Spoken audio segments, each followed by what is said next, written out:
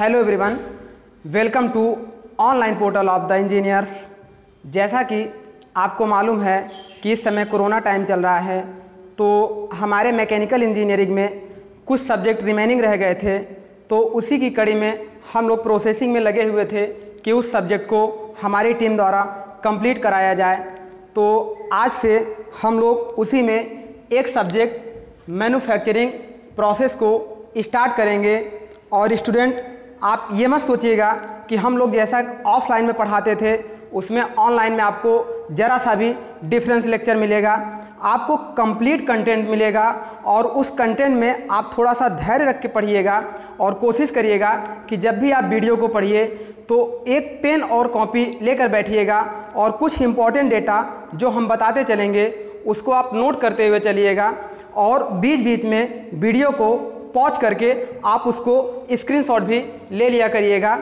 और यहाँ पर जो हम सब्जेक्ट स्टार्ट करेंगे तो हम सबसे पहले आपको ये बता दें कि देखिए, जैसा हम लोग ऑफलाइन में करते थे, हमारी टीम द्वारा, कि हम लोग कोई भी लेक्चर्स लेते थे तो उस लेक्चर के कंप्लीट होने के बाद हम लोग उस टॉपिक से रिलेटेड जितने भी प्रीवियस ईयर में एग्ज़ाम में आए हुए क्वेश्चंस होते थे, वहीं क्लासरूम में कराते थे।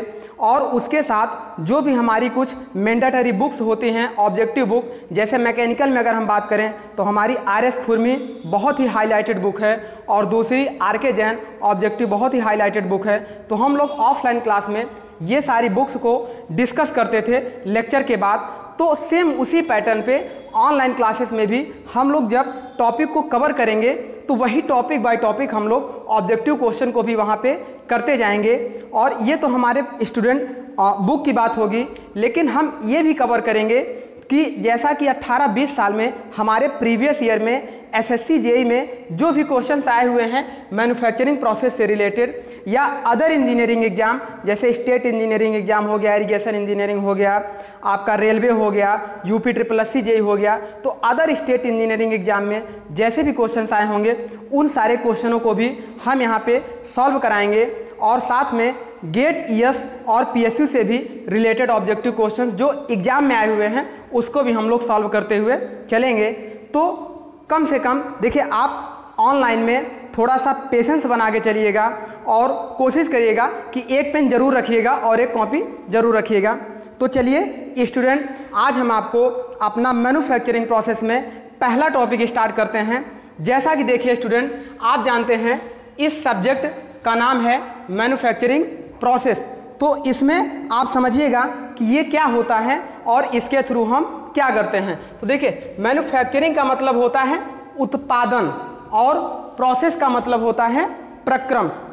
तो इसका मतलब ये सब्जेक्ट हमारा उत्पादन प्रक्रम से रिलेटेड है। मीन्स जो हम जितने भी यूजफुल गुड्स या प्रोडक्ट हम बनाते हैं, वो किसी न किसी प्रोसेस के थ्रू बनाते हैं। तो उसमें देखिए, उन जो प्रोसेसेस के थ्रू हम उस प्रोडक्ट को बनाते हैं तो उसी प्रोसेस को हम लर्न करते हैं और वही प्रोसेस हमारा कहलाता है मैन्युफैक्चरिंग प्रोसेस तो चलिए, ज़्यादा समय ना लेते हुए हम सीधे टॉपिक की ओर बढ़ते हैं। जैसा कि देखिए, सबसे पहले जब हम किसी रॉ मटेरियल की बात कर रहे हैं रॉ मटेरियल जिसे हम बोलते हैं कच्चा पदार्थ कच्चा पदार्थ तो जो अर्थ से रॉ मटेरियल निकलता है। उस रॉ मटेरियल को हम क्या करते हैं पहले? पल्वराइज फॉर्म या पाउडर फॉर्म में तोड़ते हैं। और किसके माध्यम से तोड़ते हैं? तो बड़ी बड़ी क्रशर मिल या क्रशर प्लांट लगे होते हैं, जिसे हम मिल बोलते हैं। उन मिल से हम क्या करते हैं? उसे छोटे छोटे पाउडर फॉर्म या पल्वराइज फॉर्म में तोड़ते हैं। जब ये रॉ मटेरियल हमारा पल्वराइज फॉर्म में टूट जाता है तो उसके बाद उस रॉ मटेरियल को हम क्या करते हैं? मेल्ट करते हैं। मेल्ट मतलब पिघलाते हैं। फर्नेस में पिघलाते हैं और पिघला कर हम क्या करते हैं? कास्टिंग करते हैं।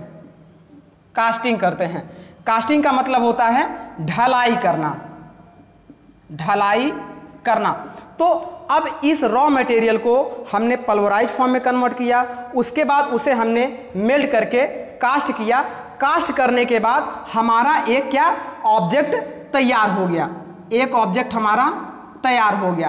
तो दूसरा देखिएगा, पहला तो हम कास्टिंग के थ्रू इस रॉ मटेरियल को तैयार करते हैं और दूसरा देखिएगा, उसी पल्वराइज फॉर्म को, उसी पल्वराइज या पाउडर फॉर्म को सपोज़ करिए कि ये एक कंटेनर हो जाए और इसमें ये पल्वराइज फॉर्म को भर दिया जाए मतलब पाउडर फॉर्म को भर दिया जाए और यहाँ से इस तरीके से एक डाई लगा दी जाए। इस तरीके से एक डाई हो जाए और ये पंच हो जाए। जब इसे हम इस पर प्रेस करेंगे, जब ये ऑब्जेक्ट आएगा और यहाँ पे ऐसे प्रेस होगा तो ये श्रिंक करेगा और इतना फोर्स लगाकर इसको प्रेस करते हैं कि ये श्रिंक कर कर अपने मिनिमम वॉल्यूम को अचीव कर लेता है।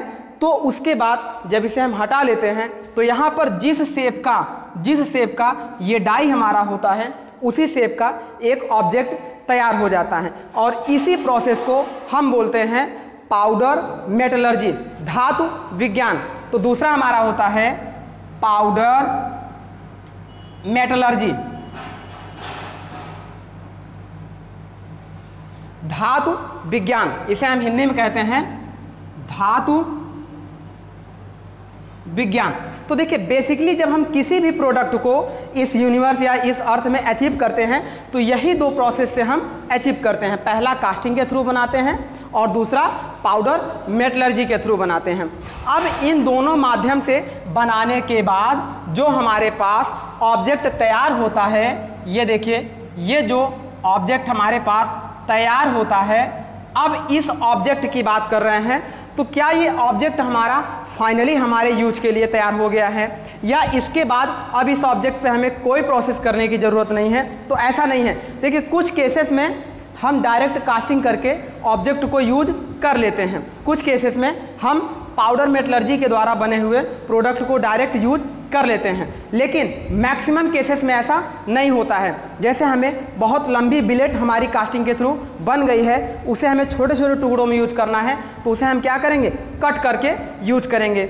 या हमारे पास मिनिमम छोटी लेंथ की एक बिलेट बनी हुई है और हमें बहुत ज़्यादा लेंथ की ज़रूरत पड़ेगी तो उसे हम आपस में क्या करेंगे? जोड़ेंगे वेल्डिंग करेंगे और फिर उसे हम यूज़ करेंगे। तो उन सारे प्रोसेसेस को ही हम करने के लिए एक सब्जेक्ट बनाए मैन्युफैक्चरिंग प्रोसेस तो अब यहाँ से हमारा मैन्युफैक्चरिंग प्रोसेस स्टार्ट होता है। आई होप आपको यहाँ तक सारी चीज़ें क्लियर हुई होंगी। चलिए, अब आगे हम बात करते हैं। देखिए, अब यहाँ से हम लोग क्या करते हैं? उस प्रोसेस की बात करते हैं कि हम मैन्युफैक्चरिंग प्रोसेस में कौन सा यूज़ करेंगे। तो चलिए देखिए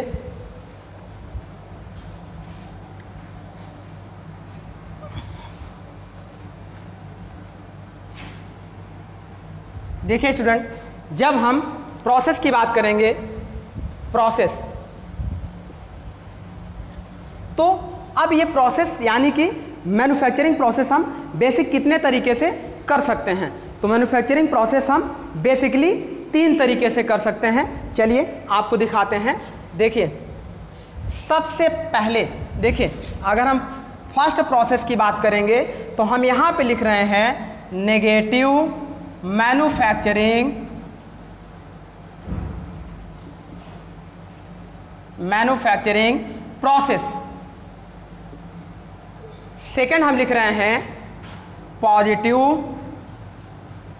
मैन्युफैक्चरिंग।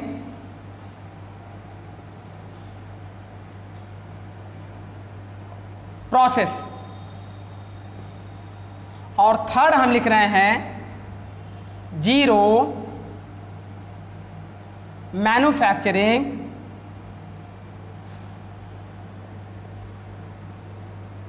प्रोसेस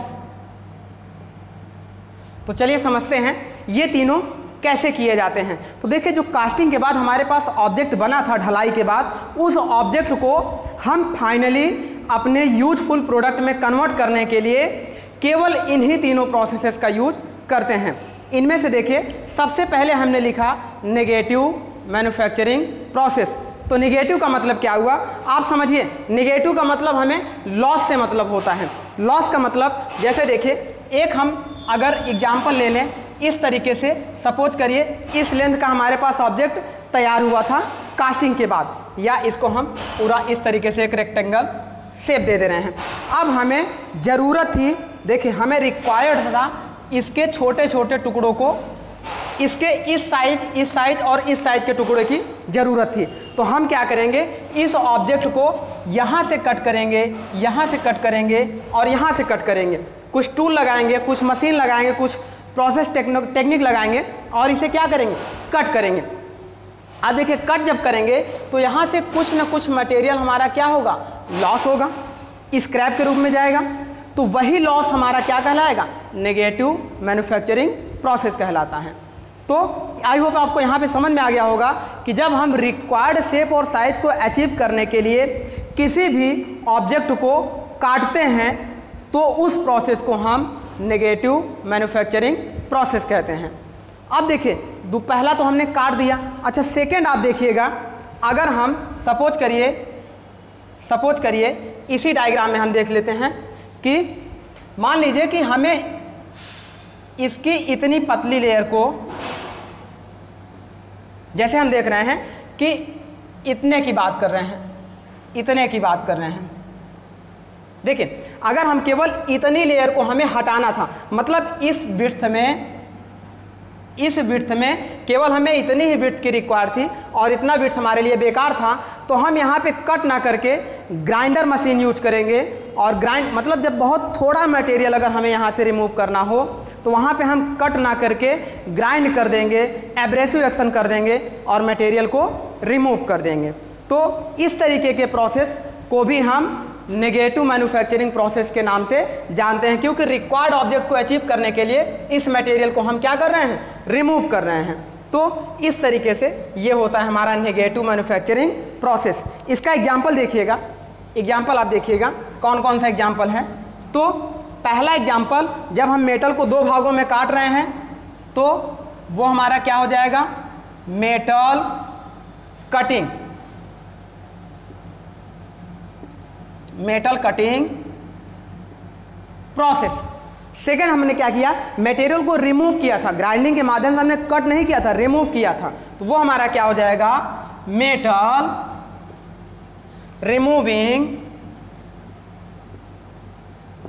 प्रोसेस प्रोसेस अब इसी में हम लोग देखते हैं जो हमारा लेथ मशीन हो गया सेपर हो गया प्लेनर हो गया स्लॉटर हो गया ड्रिलिंग हो गया बोरिंग हो गया ग्राइंडिंग हो गया तो हम यहाँ पे लिख सकते हैं lathe shaper planer drilling boring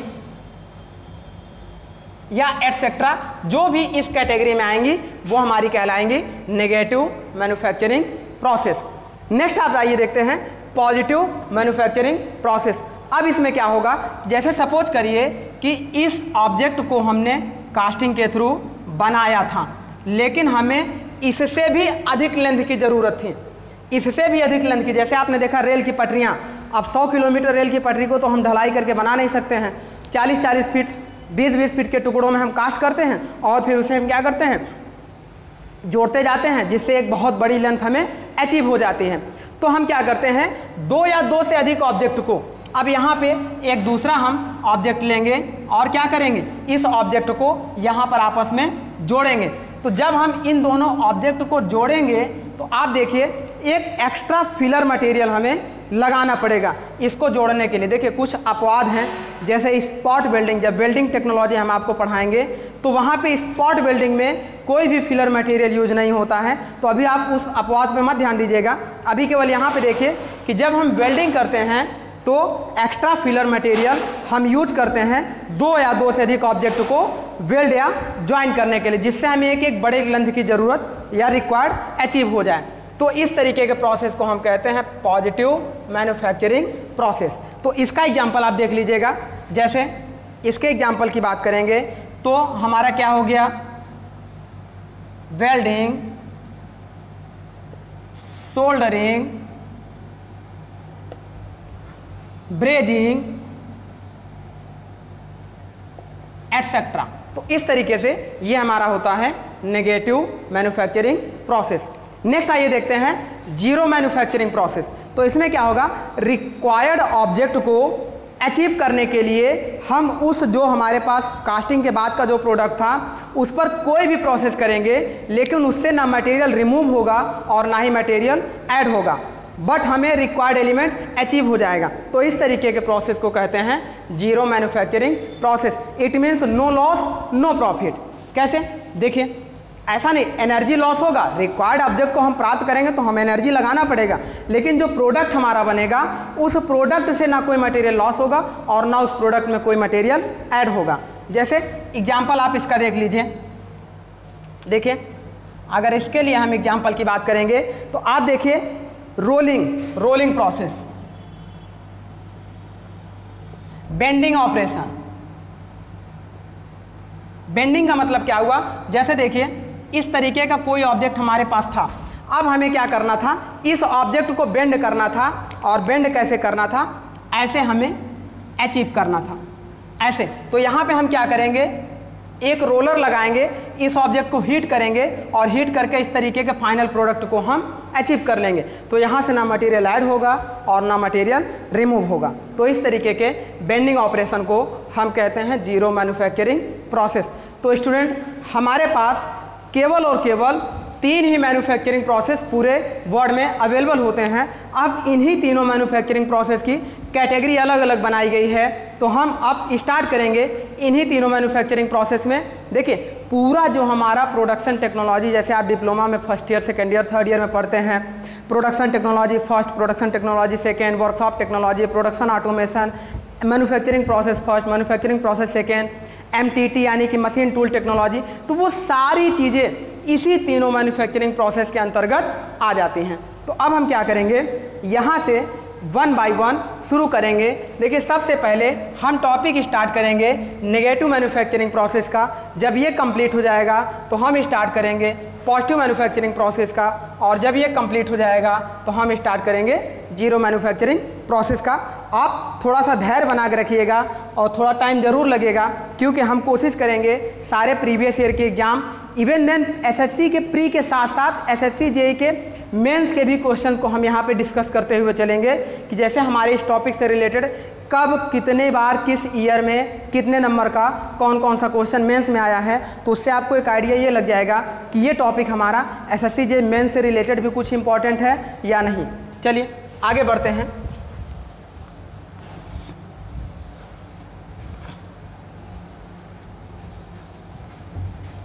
तो देखिए, अब हम लोग कौन सा टॉपिक स्टार्ट करेंगे? नेगेटिव मैन्युफैक्चरिंग प्रोसेस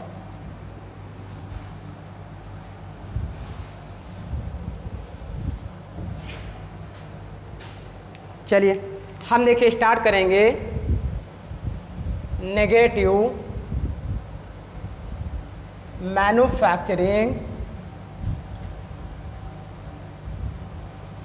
प्रोसेस तो आइए अब यहाँ से देखिएगा negative manufacturing process means metal को हमें क्या करना है? कट करना है। तो इसका हम दूसरा नाम लिख सकते हैं मेटल कटिंग या ऑब्लिक में हम मेटल को कट करने के साथ रिमूव भी कर रहे थे तो हम ये लिख सकते हैं metal removing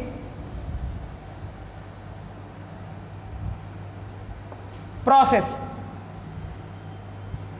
metal removing process तो अब इसी टॉपिक से हम स्टार्ट करेंगे। देखिए, आपने फ़र्स्ट ईयर में सॉरी थर्ड ईयर में MTT में आपने पढ़ा होगा। एक सब्जेक्ट आपको मिला था M machine tool technology and maintenance M तो वो कहाँ मिला था आपका? ये टॉपिक उसी में आपको मिला था। तो हम क्या करेंगे? इसी के बारे में डिस्कस करेंगे। तो देखिए, जो मटेरियल को हम कट करते हैं, वो कितने तरीके से कट कर सकते हैं? तो आइए उस पर डिस्कस करते हैं। तो जब किसी मटेरियल को हम कट करते हैं तो बेसिकली दो तरीके से हम कट करते हैं। देखिए, दोनों तरीका आपको यहाँ पे डिस्कस करते हैं। पहला तरीका हमारा होता है कन्वेंशनल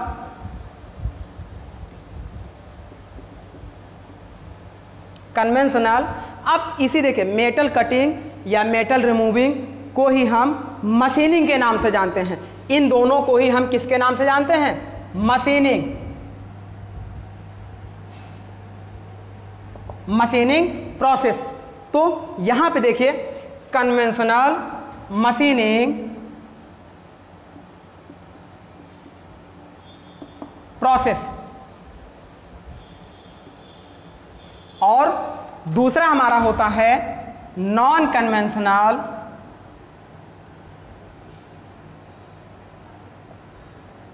मशीनिंग।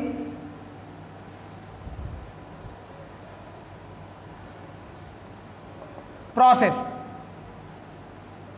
देखिए, कन्वेंशनल का मतलब परंपरागत मशीनिंग प्रक्रम।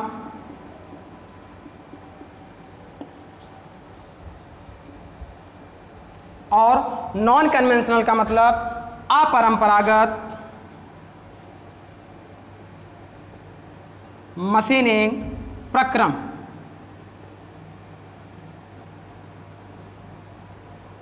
तो समझिएगा, ये दोनों देखिए, जब हम किसी मटेरियल को काटते हैं तो इन्हीं प्रोसेस के थ्रू काटते हैं, या कन्वेंशनल या नॉन कन्वेंशनल इसका दूसरा नाम होता है ट्रेडिशनल मशीनिंग प्रोसेस और इसका दूसरा नाम होता है नॉन ट्रेडिशनल मशीनिंग प्रोसेस जैसे हमने लिखा था परंपरागत तो उसी तरीके से ये, इसे अपरंपरागत या गैर परंपरागत मशीनिंग प्रोसेस कहते हैं। चलिए समझते हैं, ये दोनों क्या होते हैं।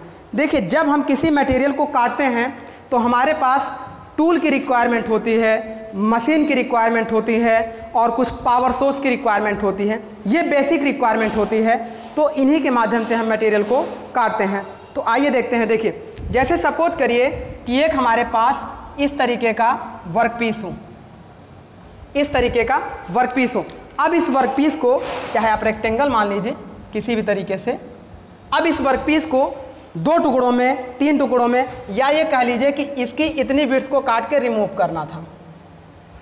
ऐसे, इसकी इतनी विर्थ को काट कर रिमूव करना था। तो हम क्या करेंगे? यहाँ पर एक इस तरीके का टूल लगाएँगे। इस तरीके का टूल लगाएँगे और इस टूल को इस डायरेक्शन में आगे बढ़ाएँगे तो ये मटेरियल क्या होगा? इतना मटेरियल कटता हुआ बाहर निकल जाएगा। दूसरे तरीके से आप ये देख लीजिए कि ऐसा मटेरियल होगा और उसको जब फाइनल एक डायग्राम बनता था तो कुछ हम लोग ऐसा बनाते थे, आपको याद आएगा धीरे धीरे और मटेरियल ऐसा रिमूव होता हुआ चला जाता था। तो इस तरीके से पहला मशीनिंग प्रोसेस हमारा होता है जब मटेरियल को रिमूव करते हैं। सेकेंड आप देखिए, क्या होता है? सपोज़ करिए, ये वर्कपीस था। अब यहाँ पे हम एक टूल ऐसा बना दे रहे हैं। एक ऐसा टूल बना दे रहे हैं। और यहाँ पर एक पंप लगा दे रहे हैं और यहाँ पर एक सक्शन दे दे रहे हैं। और सपोज़ करिए कि यहाँ पर एक लिक्विड हम ऐसा फिल कर दें, एक लिक्विड, और यहाँ पर हम एक पंप लगा दें, पंप लगा दें, और ये हमारा क्या हो जाए? नोजल हो जाए, नोजल हो जाए। तो हम यहाँ से देखेंगे कि जब इस पंप को ऑन करेंगे हाई वेलोसिटी से ऑन होगा तो यहाँ क्या होगा? ये लिक्विड ऊपर की ओर सक करेगा और सक करने के बाद ये लिक्विड क्या करेगा? जब इस नोजल से गुजरेगा तो इसका प्रेशर और वेलोसिटी ज़्यादा होगी और वो हाई प्रेशर और हाई वेलोसिटी से इस वर्कपीस की सरफेस पर जब इम्पैक्ट करेगा इस वर्कपीस की सरफेस पर इम्पैक्ट करेगा तो यहाँ से ये इसके छोटे छोटे मॉलिक्यूल को अपने साथ बाहर ले जाने लगेगा। और क्यों ले जाएगा? क्योंकि इस वर्कपीस की जो टोटल काइनेटिक एनर्जी होगी, वो काइनेटिक एनर्जी टोटल कन्वर्ट हो जाती है प्रेशर एनर्जी में। और वो प्रेशर एनर्जी वहाँ पे हीट एनर्जी में कन्वर्ट होती है। देन उन दो मॉलिक्यूल यानी कि वर्कपीस के जो दो या दो से अधिक मॉलिक्यूल आपस में बंधे हुए हैं, वो क्या होंगे? उनका बॉन्ड वीक होगा और वो मॉलिक्यूल क्या होंगे? बाहर जाने लगेंगे। तो इस तरीके से मटेरियल रिमूव होने लगेगा। तो देखिए, दो प्रोसेस हमने आपको बताया। पहले प्रोसेस में ये टूल हमारा इसके साथ डायरेक्ट टच हो रहा है और ये मटेरियल को रिमूव कर रहा है। यहाँ पे अगर इसे हम टूल मान लें और इसे हम वर्कपीस मान लें तो यहाँ पे हमारा क्या हो रहा है? टूल और वर्कपीस के बीच में कोई कांटेक्ट नहीं हो रहा है। बीच में एक वर्किंग मीडियम क्या कर रहा है? एक्ट कर रहा है मटेरियल को रिमूव करने के लिए। तो इससे क्या होगा मेटल रिमूव हो रहा है। तो टूल और वर्कपीस के बीच में कोई फ़िज़िकल कांटेक्ट नहीं हो रहा है। तो जहाँ भी इस तरीके का मशीनिंग प्रोसेस दिखेगा स्टूडेंट जिसमें टूल और वर्कपीस का फ़िज़िकल कांटेक्ट हो और मटेरियल रिमूव होगा या कट होगा, उस तरीके की सारी मशीनिंग प्रोसेस हमारी कहलाएगी कन्वेंशनल मशीनिंग प्रोसेस और दूसरा आप देखिएगा, जहाँ पर टूल और वर्क पीस का कोई फ़िज़िकल कांटेक्ट नहीं होगा, वहाँ पर सारी मशीनें हमारी कहलाएँगी नॉन कन्वेंशनल मशीनिंग प्रोसेस तो चलिए, अब इसके कुछ डिफरेंस हैं, कुछ इंपॉर्टेंट पॉइंट हैं, जो एग्ज़ाम में आए भी हैं और आ भी सकते हैं। तो चलिए, हम आपको बताते हैं कि कौन कौन से इंपॉर्टेंट पॉइंट हैं। तो ये डायग्राम रिमूव करते हैं और हम उस इंपॉर्टेंट पॉइंट को नोट करना शुरू करते हैं।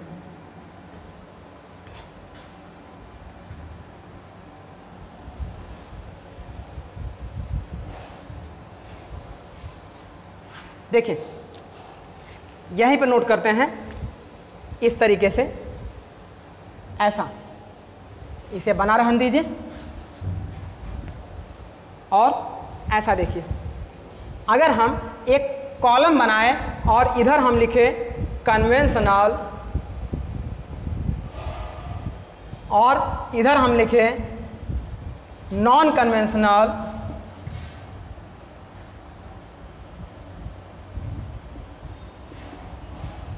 तो देखिए दोनों में डिफरेंस क्या है? कन्वेंशनल मशीनिंग प्रोसेस और नॉन कन्वेंशनल मशीनिंग प्रोसेस पहले वाले में आपने देखा था कन्वेंशनल में टूल हमारा क्या हो रहा था वर्कपीस से डायरेक्ट फ़िज़िकल कांटेक्ट में हो रहा था।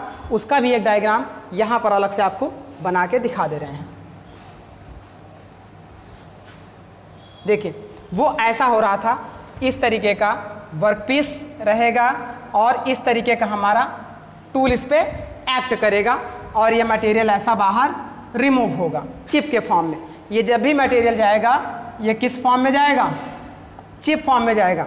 और इसमें जब भी मटेरियल रिमूव होगा, वो छोटे छोटे पल्वराइज फॉर्म या स्लरी के फॉर्म या पेस्ट के फॉर्म में रिमूव होगा। तो चलिए पॉइंट बाय पॉइंट हम लोग देखते हैं।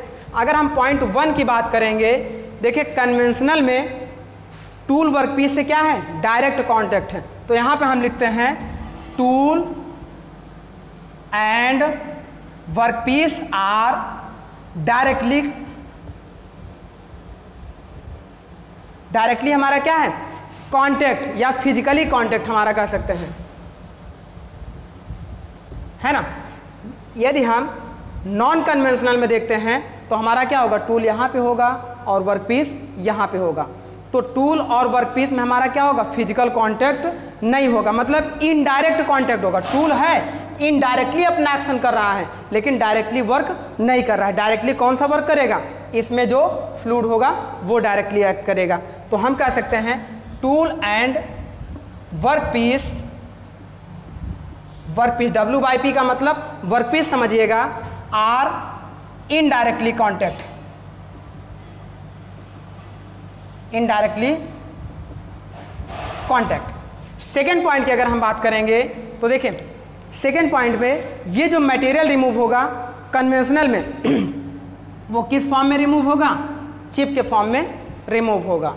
और नॉन कन्वेंशनल में जो मटेरियल रिमूव होगा, यही आपका ऑर्डिनेंस फैक्ट्री 2014 या शायद 2013 वाले एग्ज़ाम में आया हुआ था। नॉन कन्वेंशनल में जो मटेरियल रिमूव होगा, वो किस फॉर्म में रिमूव होगा? पल्वराइज या पाउडर फॉर्म या स्लरी के फॉर्म में। तो चलिए मटेरियल देखें। Remove in form of chip chip के फॉर्म में रिमूव होगा। और उसमें देखिएगा material remove in form of pulverise pulverise कह सकते हैं पाउडर कह सकते हैं पाउडर और स्लरी स्लरी मतलब गाढ़ा पेस्ट होता है, जो मटेरियल का होता है। चलिए थर्ड पॉइंट की बात कर रहे हैं। देखिए नेक्स्ट पॉइंट हमारा क्या होगा? ये जो मटेरियल रिमूव होगा तो इसमें आप देखिए, ये जो चिप जा रही है, ये हमारे लिए स्क्रैप मटेरियल है वेस्टेज मटेरियल है, इसका हम यूज़ नहीं कर पाएँगे। तो इसमें कन्वेंशनल में स्क्रैप मटेरियल क्या होता है? बहुत ज़्यादा निकलता है और नॉन कन्वेंशनल में बहुत मॉलिक्यूलर लेवल पर मॉलिक्यूलर लेवल पर मशीनिंग होती है छोटे छोटे मॉलिक्यूल्स रिमूव होते हैं। तो यहाँ पर स्क्रैप मटेरियल कम निकलता है। तो चलिए नेक्स्ट पॉइंट हम लिख लेते हैं। देखिए मोर स्क्रैप मोर स्क्रैप और यहाँ पर हम लिख लेते हैं लेस स्क्रैप स्क्रैप का मतलब जो मटेरियल रिमूव होकर बाहर जैसे चिप के फॉर्म में जा रहा है, उसकी बात कर रहे हैं। नेक्स्ट देखते हैं, यदि हम बात कर रहे हैं कटिंग फोर्स की, कितना कटिंग फोर्स किसमें लगेगा? तो देखें ये कन्वेंशनल है, इसमें मटेरियल को तोड़ने के लिए इस टूल के द्वारा बहुत ज़्यादा कटिंग फोर्स अप्लाई करेंगे, तब ये मटेरियल चिप के फॉर्म में रिमूव होगा। और इसमें देखिए टूल यहाँ है वर्क पीस यहाँ कोई कटिंग फोर्स नहीं लगाना पड़ रहा है।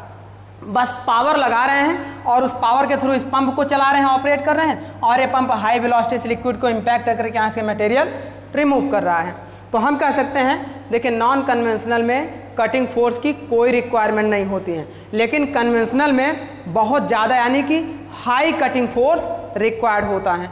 तो हम ये लिख सकते हैं नेक्स्ट पॉइंट देखिए ये हम लिख सकते हैं हाई कटिंग फोर्स रिक्वायर्ड और नॉन कन्वेंशनल में हम लिख सकते हैं no cutting force required no cutting force required तो इस तरीके से ये कटिंग फोर्स हो गया। अब अगर पावर कंजप्शन की बात करेंगे कि किसमें कितनी ज़्यादा पावर लगती है तो देखिए आपको भी पता है, ये कन्वेंशनल मशीनिंग क्या होती है? जैसे लेथ सेपर प्लेनर उनको ऑपरेट करने के लिए कम पावर की रिक्वायरमेंट होती है, लेकिन नॉन कन्वेंशनल में इन पूरी मशीनों को ऑपरेट करने के लिए अधिक पावर की आवश्यकता होती है। तो इस तरीके से हम इसमें करेंगे, देखिए कन्वेंशनल में लो पावर लगता है और नॉन कन्वेंशनल में हाई पावर रिक्वायर्ड होता है। तो नेक्स्ट पॉइंट हम नोट कर लेते हैं यहाँ पर क्या होगा? मोर सॉरी कन्वेंशनल है। तो लेस पावर रिक्वायर्ड और नॉन कन्वेंशनल में हमारा क्या होगा? मोर पावर रिक्वायर्ड इस तरीके से हमारा पावर की बात हो गई। अब अगर हम बात करेंगे सरफेस फिनिशिंग की तो देखिए सरफेस फिनिशिंग किसमें अच्छी आएगी? अभी अगर मॉलिक्यूलर लेवल पे मशीनिंग कर रहा होगा, जैसे आप सपोज़ करिए कि जब कुएँ से पानी खींचते हैं तो जो पानी उसके उसके बाढ़ पर गिरता है वो बाल्टी से छलक कर तो वो क्या होता है? धीरे धीरे उससे क्या होता है? उस जो कुएँ की बाट होती है, वो उस पानी के छलकने से धीरे धीरे उसका मटेरियल रिमूव होता जाता है और उसकी सतह क्या होती है? चिकनी होती जाती है। तो मतलब अगर मॉलिक्यूलर लेवल पे हम मटेरियल को रिमूव करते हैं तो उसकी सरफेस फिनिश ज़्यादा अच्छी मिलेगी। किसकी अपेक्षा? इसकी अपेक्षा कन्वेंशनल की अपेक्षा। तो हम कह सकते हैं कन्वेंशनल में सरफेस फिनिश लो मिलेगी। और नॉन कन्वेंशनल में बेटर सरफेस फिनिश मिलेगी, है ना? तो चलिए, देखिए, इस पॉइंट पे जैसे इतना पॉइंट हमने नोट कर दिया तो आप इसको स्क्रीनशॉट ले लिया करिए, या हम हट जाते हैं और उसके बाद, या कॉपी पेन लेके उसको नोट कर लिया करिए। ये सारे हाईलाइटेड और इंपॉर्टेंट पॉइंट होते हैं एग्ज़ाम के पॉइंट ऑफ़ व्यू से। चलिए नेक्स्ट पॉइंट की बात करते हैं।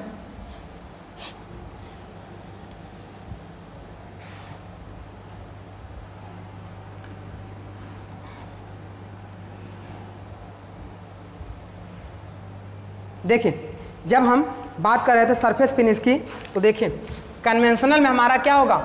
Poor surface finish poor surface finish produce और नॉन कन्वेंशनल में हमारी क्या होगी? बेटर सरफेस फिनिश मिलेगी, है ना? बेटर सरफेस फिनिश प्रोड्यूस चलिए, अब ये तो हो गई सरफेस फिनिश की बात। अच्छा एक चीज़ देखिएगा, जब हमें किसी वर्कपीस पे सपोज़ करिए कि कोई रेक्टेंगुलर वर्कपीस हमारा था, यदि उसकी एज को शार्प करना शार्प मतलब तीछड़ करना हो तो दोनों में कौन सा प्रोसेस अप्लाई कर सकते हैं? नॉन कन्वेंशनल में कोई लिक्विड की जेड जाएगी और वहाँ पे क्या करेगी? वो जेड शार्प एज नहीं बनाएगी, वो पूरी एज को ही ख़त्म करने की कोशिश करेगी। जैसे इस एज को अगर शार्प करना हो तो ये लिक्विड क्या करेगा? इस एज को ही ब्रेक करना शुरू कर देगा। लेकिन नॉन सॉरी कन्वेंशनल में क्या होगा कि ये टूल आएगा और इधर से नीचे से एज को कट करेगा और इधर से एज को कट करेगा और एक प्रॉपर मेंटेन वेल मेंटेन और एक्यूरेट शार्प एज प्रोड्यूस कर देगा। तो हम ये कह सकते हैं कि अगर हमें किसी वर्कपीस पर शार्प एज, यानी कि तीक्ष्ण धार, जैसे आप नाइफ देखते हैं, अगर नाइफ को किसी लिक्विड की धार से तेज करना चाहेंगे तो वो क्या होगा? नहीं प्रोड्यूस हो पाएगा, बल्कि उसकी एज खराब हो जाएगी।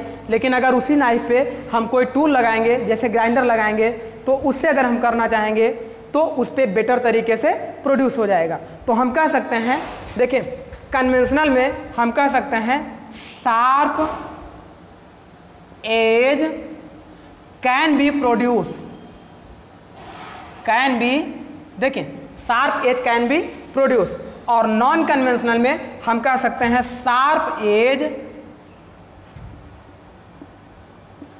can not be produce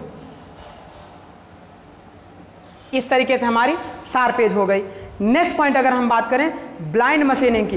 blind machining का मतलब ऐसा नहीं, अंधा होल। जैसे आप समझिएगा ब्लाइंड मशीनिंग क्या होती है, देखिए उसको भी देख लीजिए।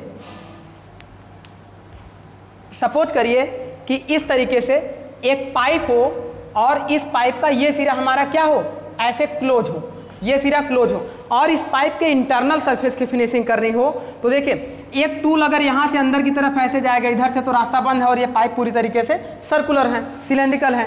तो जब ये टूल अंदर तक जाएगा तो यहाँ पे क्या होगा? ये कुछ दूर तक जाएगा, उसके बाद इसको अंदर की चीज़ें नहीं दिखाई देंगी। तो मतलब कन्वेंशनल में अगर हम किसी टूल को अंदर भेजेंगे और इसकी मशीनिंग करना चाहेंगे तो ये पॉसिबल नहीं हो पाएगा।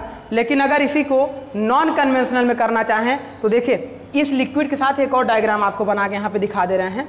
ऐसा देखिएगा।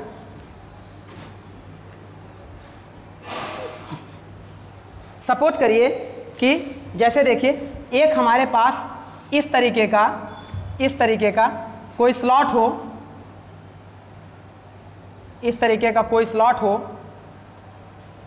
और यदि हम स्लॉट के इस इंटरनल सरफेसेस पे मशीनिंग करना चाहें, इसकी दीवारों पे तो वहाँ पर कोई टूल कुछ दूर तक जाने के बाद अगर इसके बीच में गैप बहुत कम होगा तो वो टूल अंदर जा ही नहीं पाएगा। तो वहाँ कन्वेंशनल मशीनिंग फेल हो जाएगी। तो हम क्या करेंगे, इस स्लॉट से थोड़े से छोटे साइज़ का एक टूल बनाएँगे।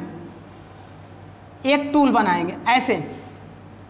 और इस टूल को यहाँ से ऐसे ले जाएँगे और इसको हम कनेक्ट करेंगे देखिए, यहाँ पर इस तरीके से ऐसे कनेक्ट करेंगे और अभी सिंपली बता रहे हैं। जब इसको हम लोग मशीनिंग में पढ़ेंगे तो और डिटेल में बताएँगे और इसको हम यहाँ से वर्क पीस में कनेक्ट कर देंगे। और यहाँ पर इस वर्क पीस को चारों तरफ़ हम इस तरीके से एक एक कंटेनर में रखेंगे। इस वर्क पीस को हम एक कंटेनर में रखेंगे और उस कंटेनर में हम एक लिक्विड भर देंगे। एक लिक्विड फिल कर देंगे। देखिए लिक्विड फिल कर दिया हमने। अब क्या होगा कि ये लिक्विड ये जो टूल हमने बनाया था, इस टूल के बीच में जो गैप था, ये जो वर्कपीस से थोड़े से छोटे साइज़ का हमने टूल बनाया था तो यहाँ पर देखिए, एक गैप था तो उस टूल और वर्कपीस के गैप में वो लिक्विड आकर क्या हो जाएगा? फिल कर जाएगा। जब लिक्विड फिल कर गया तो देखिए टूल और वर्कपीस के बीच में कोई फ़िज़िकल कांटेक्ट नहीं है। बीच में हमारा क्या है? एक लिक्विड फिल कर गया। उसी लिक्विड को हम या तो डाई इलेक्ट्रिक फ्लूड कहते हैं, या इलेक्ट्रोलाइट फ्लूड कहते हैं। सिंपल सा, जैसे एन मतलब नमक का घोल अगर हम कह दें तो हमने यहाँ पे भर दिया है। तो अब क्या करेंगे? जब इसको हम पावर सोर्स से पावर सोर्स सपोज़ करिए डीसी पावर सप्लाई से हमने इसको कनेक्ट कर दिया। एक को हमने निगेटिव टर्मिनल दे दिया और एक को हमने पॉजिटिव टर्मिनल दे दिया। जब हम पावर सप्लाई ऑन करेंगे तो इलेक्ट्रॉन नेगेटिव टर्मिनल से होकर पॉजिटिव टर्मिनल की ओर जाने लगेंगे। और यहाँ पर देखिए लिक्विड होने के कारण ये इलेक्ट्रॉन क्या करेंगे? फ्लो करने लगेंगे। क्यों फ्लो करेंगे? क्योंकि ये लिक्विड की इलेक्ट्रिक कंडक्टिविटी ज़्यादा होगी। ऐसा लिक्विड हम यूज़ करते हैं। तो जब इलेक्ट्रॉन फ्लो करेंगे तो ये लिक्विड यहाँ पे क्या होंगे? इलेक्ट्रिक कंडक्टिविटी के कारण अपने आयनों में टूटेंगे आयोनाइज होंगे और वहाँ से हीट जनरेट होगी, जिससे इस वर्कपीस के मटेरियल धीरे धीरे क्या होंगे? एक्टिव होने लगेंगे और वहाँ से वो रिमूव होने लगेंगे। केवल यहीं से नहीं, इसकी पूरी सर्फिसेस पर जहाँ तक ये टूल हमारा है तो सारे वर्कपीस के मटेरियल एक साथ धीरे धीरे रिमूव होने लगेंगे। इसी प्रोसेस को स्टूडेंट हम लोग किस नाम से जानते हैं? ई डी एम जब हम लोग ईडीएम को अलग से पढ़ेंगे तो उसको और अच्छे तरीके से स्पेसिफाई करेंगे। यहाँ तो केवल एग्ज़ाम्पल हमने लिया था। ईडीएम का मतलब इलेक्ट्रो डिस्चार्ज मशीनिंग तो हमारा कहने का मतलब यहाँ ये समझाने का था कि अगर हमने कोई स्लॉट की मशीनिंग करनी हो, जहाँ सिंगल पॉइंट या मल्टीपल पॉइंट टूल जाने में दिक्कत हो तो वहाँ पर इस तरीके का स्लॉट का टूल बनाएँगे, उससे छोटे साइज़ का और लिक्विड फिल करेंगे और मशीनिंग करके कंप्लीट कर देंगे। तो उससे हमारा क्या हो जाएगा? प्रोडक्ट का सरफेस बेटर तरीके से फिनिश हो जाएगा। चलिए, अब आते हैं अपने इस ऑब्जेक्ट पर ब्लाइंड होल पर। ब्लाइंड होल का मतलब देखिए, अगर ये टूल हमारा कुछ दूर तक गया, फिर अंदर हमें दिख नहीं रहा है कि कितनी डेप्थ ऑफ़ कट लेनी है, कितनी विर्थ लेनी है है ना? अंदर फिनिश हो पा रहा है नहीं हो पा रहा है? और मटेरियल जो रिमूव हो रहा है, वो अंदर ही भरता चला जा रहा है। तो इस तरीके से क्या होगा? जैसे कोई बंद कुआँ हो, आप एक तरफ़ से आप बंद करके नीचे चले जाइए तो आप मशीनिंग नहीं कर पाएँगे। तो हम क्या करेंगे? फिर इस वर्क पीस को, इसकी इंटरनल सरफेस को रिमूव करने के लिए, इससे थोड़े से छोटे साइज़ का इसके साइज़ से थोड़े से छोटे साइज़ का एक टूल बनाएँगे। और देखिए यह हमने टूल बनाया। अब इस टूल को हम क्या करेंगे? या निगेटिव या पॉजिटिव टर्मिनल से कनेक्ट करेंगे और इस वर्क पीस को भी अगर इसको निगेटिव किया है तो इसको पॉजिटिव करेंगे। तो इस तरीके से कनेक्ट करेंगे और दोनों के बीच में लिक्विड भर देंगे। लिक्विड भरने के बाद यही पूरा प्रोसेस अप्लाई कर देंगे। तो इसके पूरे सरफेस की मशीनिंग एक साथ हो जाएगी और एक्यूरेट बेटर तरीके से हो जाएगी। तो इसे हम कहते हैं ब्लाइंड होल मशीनिंग है ना? तो इस तरीके से ये पॉसिबल होगा नॉन कन्वेंशनल में। तो यहाँ पे हम लिख सकते हैं blind hole blind hole machining can not possible और यहाँ पर क्या होगा? ब्लाइंड होल मशीनिंग पॉसिबल इस तरीके से ये ब्लाइंड होल हो गया। अब चलिए देख लेते हैं इंट्रिकेट शेप और साइज़ मतलब कुछ कठिन संरचना जैसे हमारी होती है। कठिन का मतलब देखिए, जैसा सपोज़ करिए कि हमारे पास इस तरीके का कुछ ऑब्जेक्ट मिल जाए। ऐसा देखिए, जैसे कोई हमारे पास ऐसे कोई सैप्ट हो, इस तरीके से इस तरीके से सैप्ट हो। अब इस सैप्ट की अगर अपर सरफेस पे फिनिशिंग करनी है लोअर सरफेस पे फिनिशिंग करनी है एक साथ तो क्या होगा? जब टूल ऊपर से लगेगा, अब ये टूल की डायरेक्शन चलेगी तो ये कुछ ऐसा चलेगा तो यहाँ पे छूट जाएगा। यहाँ पे मशीनिंग नहीं होगी, यहाँ पे होगी, यहाँ पे होगी, और ये हो सकता है इतना मटेरियल को काट के रिमूव कर दे। तो इस तरीके से अगर कुछ ऐसी कठिन संरचना हो, जिस पर हम कन्वेंशनल के थ्रू मशीनिंग नहीं कर पाएँगे तो सेम यही प्रोसेस को हम इस पर अप्लाई कर देंगे और आसानी से हो जाएगा।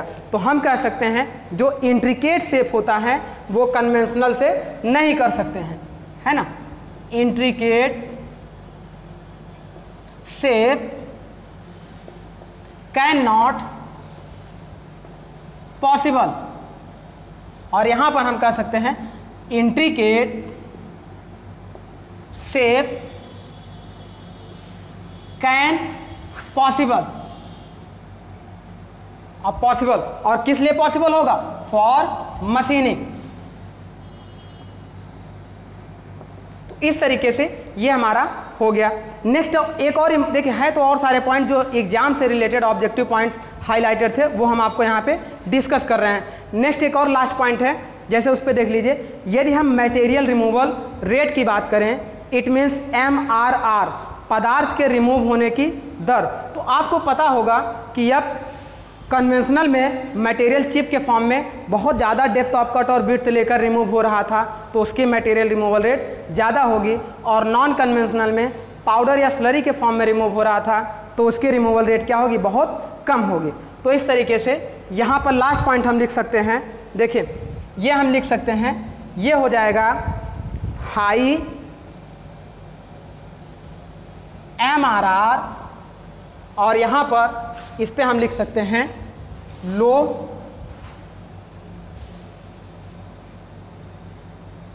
M R R M R R का मतलब मटेरियल रिमूवल रेट पदार्थ के रिमूव होने की दर।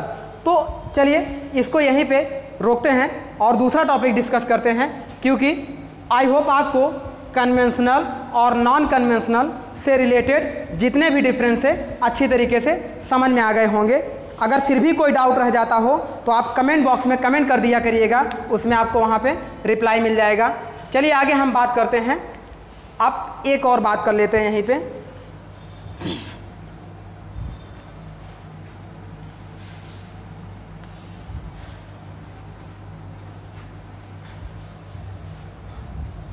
अच्छा देखिए, हमने देखा कि मशीनिंग दो तरीके से हमने आपको सिखाई। एक कन्वेंशनल और एक नॉन कन्वेंशनल कन्वेंशनल में क्या हो रहा था? मटेरियल चिप के फॉर्म में रिमूव हो रहा था और नॉन कन्वेंशनल में पाउडर या स्लरी के फॉर्म में रिमूव हो रहा था। चलिए, एक और देख लेते हैं। अच्छा जैसे देखिए सपोज़ करिए, हम ग्राइंडिंग प्रोसेस करते हैं। जैसे ये ग्राइंडर व्हील हो गया, जब ये मूव करेगा तो यहाँ से छोटे छोटे पार्टिकल रिमूव हो गए ग्राइंडिंग ऑपरेशन में क्या होता है? ये टूल हो गया और ये वर्क पीस हो गया। दोनों फ़िज़िकल कांटेक्ट में है। तो फ़िज़िकल का मतलब ये हमारा किसके अंतर्गत आ जाना चाहिए? कन्वेंशनल के अंतर्गत आ जाना चाहिए। लेकिन दोनों में जो मटेरियल रिमूव हो रहा है, वो किस फॉर्म में रिमूव हो रहा है? पल्वराइज फॉर्म में रिमूव हो रहा है। पल्वराइज फॉर्म का मतलब किसमें आ जाना चाहिए? नॉन कन्वेंशनल में आ जाना चाहिए। तो इसीलिए इसको हमने अलग कैटेगरी में डिफाइन किया। ना इसे कन्वेंशनल में रखा और ना नॉन कन्वेंशनल में रखा। इसको हमने थर्ड अलग से कैटेगरी डिफाइन किया। वो थर्ड कैटेगरी जो हमारी हो गई, वो हो गई एब्रेसिव एक्शन मशीनिंग एब्रेसिव का मतलब वहाँ पे एब्रेसिव मतलब अपघर्षी एक्शन के तहत मटेरियल रिमूव होगा। तो नेक्स्ट हम लिख सकते हैं थर्ड एब्रेसिव एक्शन मशीनिंग। तो इस तरीके से एब्रेसिव एक्शन मशीनिंग हमारी होती है। अब इसमें आपका एग्ज़ाम्पल जैसे इसके, चलिए अब तीनों के एग्ज़ाम्पल नोट करते हैं। वन बाई वन ये सब हटा देते हैं।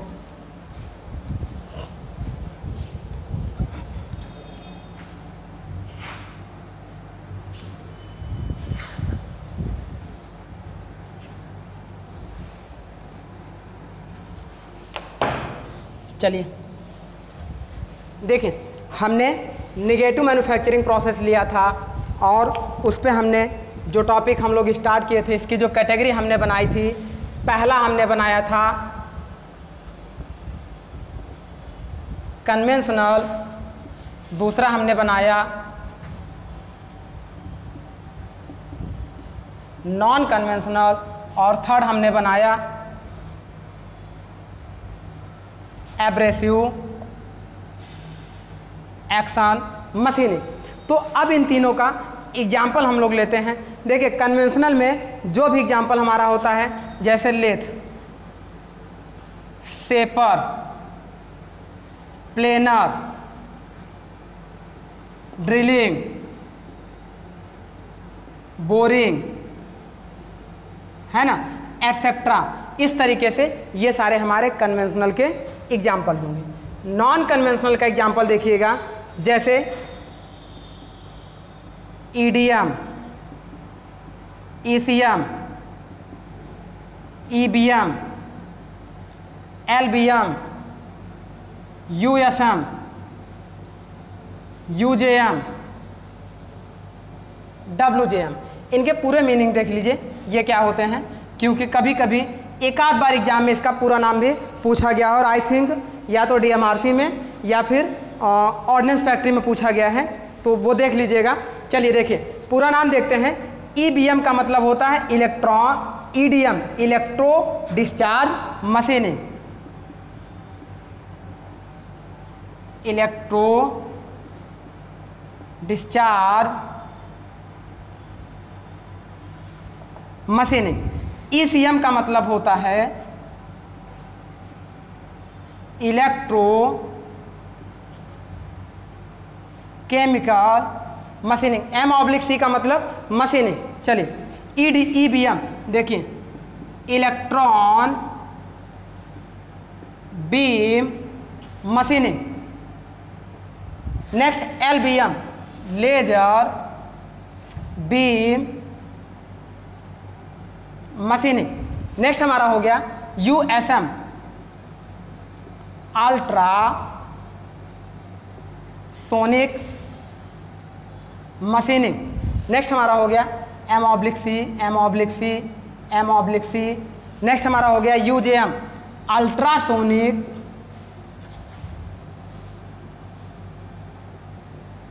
jet machining ultrasonic jet machining W J M ये होता है वाटर जेट मशीनिंग नेक्स्ट होता है P A M P A M का मतलब होता है, देखिए, चलिए। यहीं पे लिख दे रहे हैं। नेक्स्ट हमारा होता है P A M P A M का मतलब होता है plasma arc machining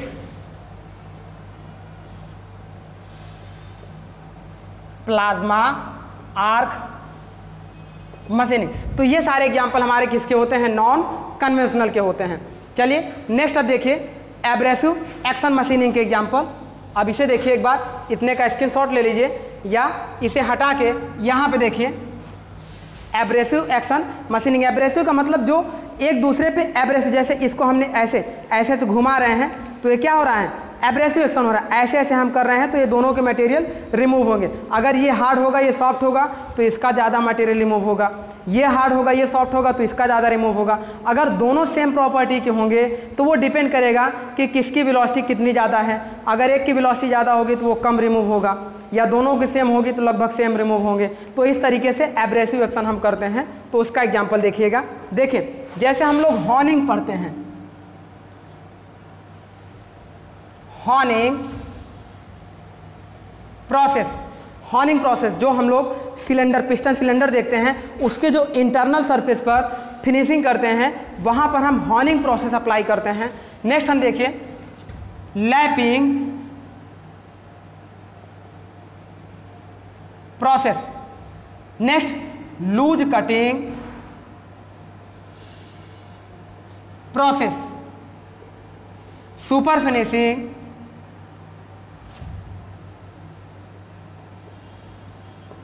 process है ना? ग्राइंडिंग ग्राइंडिंग भी इसी के अंतर्गत आएगा। प्रोसेस या ऑपरेशन कुछ भी कह लीजिए। प्रोसेस नेक्स्ट आप देख लीजिए। इस तरीके से सुपर फिनिशिंग प्रोसेस हो गया। लूज कटिंग प्रोसेस हो गया। लैपिंग प्रोसेस हो गया। हॉर्निंग प्रोसेस हो गया। बर्निशिंग प्रोसेस हो गया। है ना? Buffing process buffing process burnishing process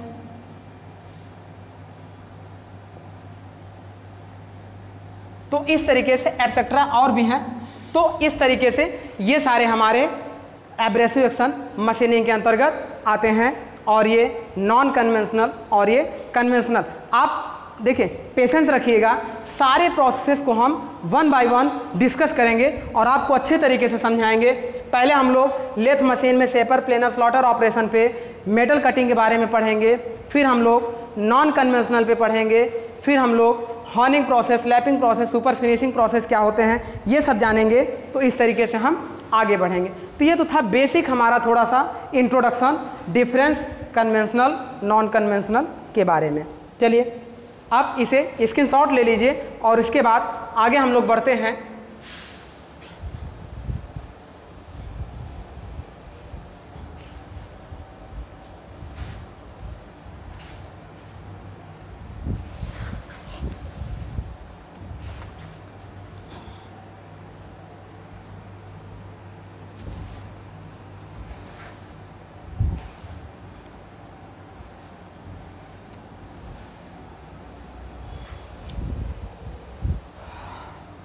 अब देखें स्टूडेंट हम लोग स्टार्ट करेंगे कन्वेंशनल में कौन सा प्रोसेस हम स्टार्ट करते हैं। देखिए हम लोग कन्वेंशनल में स्टार्ट करेंगे तो पहला टॉपिक हम लोग स्टार्ट करते हैं metal cutting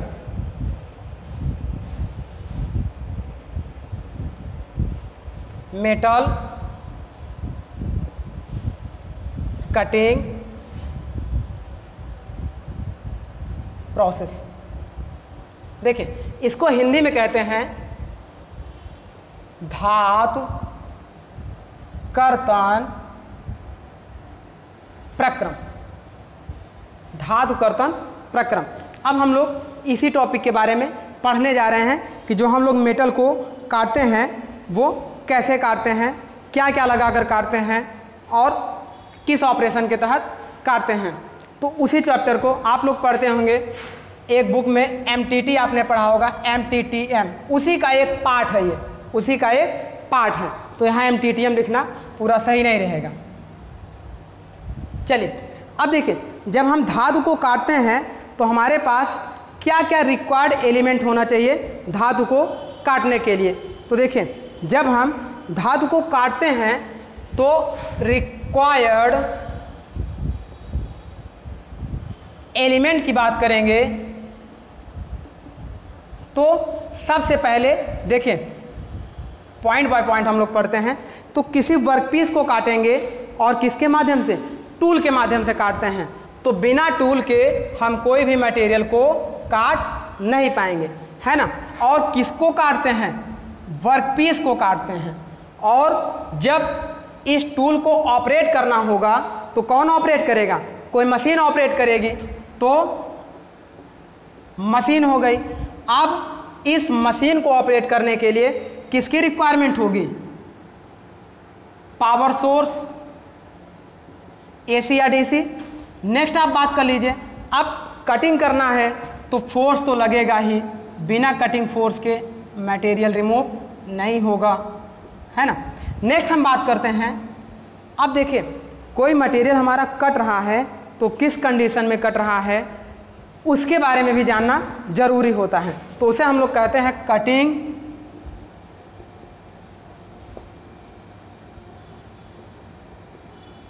condition cutting condition next हम लोग बात करते हैं देखें ये सब ज़रूरी एलिमेंट होते हैं। अब ये टूल जो यूज़ कर रहे हैं हम लोग देखें ये टूल यूज़ कर रहे हैं तो इसके मटेरियल के बारे में भी जानना ज़रूरी होता है। वर्कपीस हम यूज़ कर रहे हैं तो इसके मटेरियल के बारे में जानना ज़रूरी होता है। अब इस टूल के नॉमन यानी कि टूल एंगल के बारे में भी बहुत ज़रूरी होता है तो वो भी एक हमारा रिक्वायर्ड एलिमेंट हो जाता है। तो जिसको हम लोग कहते हैं टूल जेमेट्री टूल जेमेट्री या इसी को टूल नॉमन क्लेचर कहते हैं। अब आप समझिए कि इतना इंपॉर्टेंट पॉइंट है कि S S C J mains में दो बार आ चुका है पंद्रह पंद्रह नंबर में। बस केवल इतना लिख देता है कि डिफाइंड टूल जेमेट्री या टूल नॉमन क्लेचर तो इस तरीके से ये इंपॉर्टेंट क्वेश्चन होता है। दो बार S S C J mains में आ चुका है 15 15 मार्क्स में, और ऑब्जेक्टिव वन वन क्वेश्चन में तो आता ही रहता है। तो इस तरीके से ये हमारे रिक्वायर्ड एलिमेंट होते हैं किसके लिए? मेटल कटिंग के लिए। तो अब देखिए, जब मेटल कटिंग करते हैं तो यहीं से हम लोग क्या करते हैं? वन बाय वन स्टार्ट करते हैं। पहला हम लोग किसको लेंगे? टूल को लेंगे, है ना? तो यहीं से हम लोग स्टार्ट करते हैं। देखें जब हम लोग टूल को लेते हैं तो टूल बेसिकली होता क्या है? एक मटेरियल का ही बना हुआ ऑब्जेक्ट होता है है ना? टूल उसी को मान लेते हैं, जैसे किसी के माध्यम से अगर किसी चीज़ को हम काटते हैं तो जो चीज़ कटती है वो वर्कपीस कहलाता है और जिस चीज़ के माध्यम से काटा जाता है वो टूल कहलाता है है ना? तो बेसिकली जो टूल की कैटेगरी यहाँ पे डिफाइन की गई है डिफाइन की गई है, वो उनकी कटिंग एज के अकॉर्डिंग डिफाइन की गई है। कटिंग एज का मतलब जैसे सपोज़ करिए कि यदि टूल हमारा कुछ ऐसा हो, देखें, टूल हमारा कुछ ऐसा हो या टूल हमारा कुछ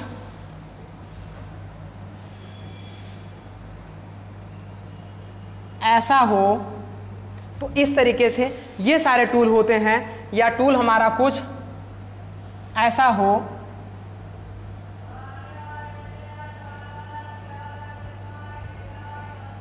इस तरीके से हो, ये इस तरह आप, ये प्रोसेस करेगा। तो ये सारे हमारे क्या होते हैं? टूल होते हैं। अब इस टूल की बात करेंगे। अगर इस एज को शार्प कर देंगे, यानी कि तीसरा कर देंगे तो इस एज से कटिंग होने लगेगी। यहाँ पे देखिए, इस एज को शार्प कर दें या इस एज को शार्प कर दें तो इससे कटिंग होने लगेगी। यहाँ पर देखिए, ये एज हमारी शार्प होती, ये शार्प होती, सारी एज को, इसमें सारी एज को शार्प करना होगा। तो अब देखिए, इसमें कैटेगरी कैसे डिवाइड की गई है? अगर इस टूल को देखें, इसको भी शार्प कर दें और इसको भी शार्प कर दें, लेकिन फिर भी अगर ऐसा वर्क पीस हमारा होगा इस तरीके से होगा। और ये टूल ऐसे इंटरसेक्ट करेगा तो केवल यही कटिंग एज रिस्पॉन्सिबल होगी इसको दो भागों में अलग करने के लिए। अगर इस बॉडी को यहाँ पर साइड में ले आ देंगे तो ये कटिंग एज रिस्पॉन्सिबल हो जाएगी इस मटेरियल को कट करने के लिए। मतलब इस तरीके के टूल में चाहे कितनी भी एजेस को हम शार्प कर दें बट कटिंग करने के लिए कटिंग करते समय केवल एक एज ही एक्टिव होती है, बाकी सारी एजेस हमारी किसमें होती हैं? रेस्ट कंडीशन में होती हैं। तो जहाँ पर भी ऐसा टूल मिले, जिसमें केवल और केवल एक एज कटिंग करने के लिए रिस्पॉन्सिबल हो तो इस तरीके के टूल को कहते हैं सिंगल पॉइंट कटिंग टूल तो इसी को हम लोग पढ़ते हैं एस पी सी टी के नाम से। इसका पूरा नाम क्या होता है? सिंगल पॉइंट कटिंग टूल अब देखिए यहाँ पे एक दूसरे डायग्राम में हमने देखा था कि एक एक पूरा ये कटिंग एज कंप्लीट है। दूसरे टीथ की ये कटिंग एज कंप्लीट है, जिसे हम मिलिंग कटर के नाम से जानते हैं। तो यहाँ पे आप देखिए कि ये पूरी एज है, ये पूरी एज है और सारी एज ऐसा नहीं जब एक कटर चलेगा तो ऐसा नहीं है कि केवल एक एज ही कटिंग करेगी, बाकी एज रेस्ट में रहेंगे। सारी एजेस रिस्पॉन्सिबल होंगी कट करने के लिए। तो जहाँ पर भी ऐसा टूल मिले जिसपे more than one cutting edge are responsible for material removal then this type of tool are also called multiple point cutting tool तो हम उसे कह सकते हैं एम पी सी टी इसका पूरा नाम लिख देते हैं। देखिए multi point cutting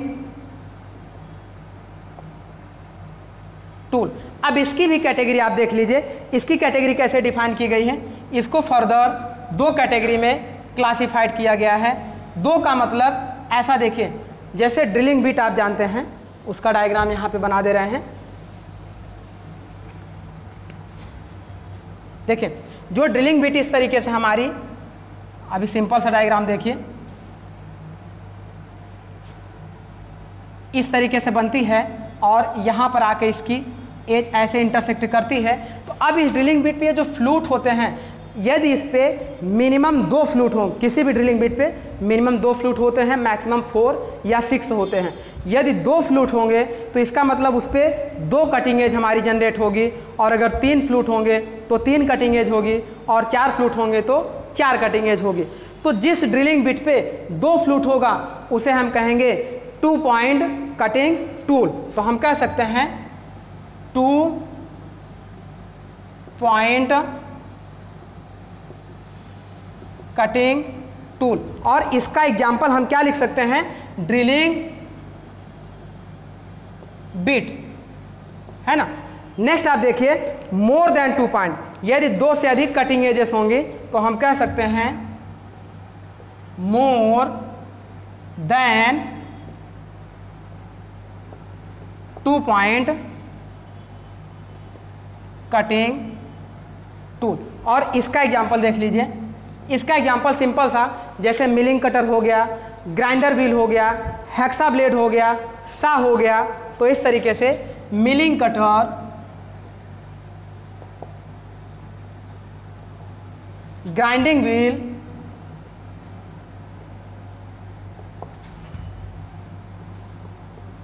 hacksaw blade etcetera ETC इस तरीके से ये हमारा हो गया मल्टीपल पॉइंट और सिंगल पॉइंट का एग्जांपल यहाँ पर नोट कर लीजिएगा। ये तो सिंपल सा आप समझते हैं। लेथ सू lathe tool shaper planer slotter या पार्टिंग टूल है ना? तो ये हम लिख सकते हैं। लेथ टूल है ना? पार्टिंग टूल या एटसेट्रा इस तरीके से जिसकी केवल एक कटिंग एज रिस्पॉन्सिबल होगी कट करने के लिए। तो ये थोड़ा सा टूल का नॉमन क्लेचर है। अब हम इसके आगे बढ़ते हैं। अब आप इसका स्क्रीनशॉट ले लीजिए, फिर इसके आगे हम बढ़ते हैं। चलिए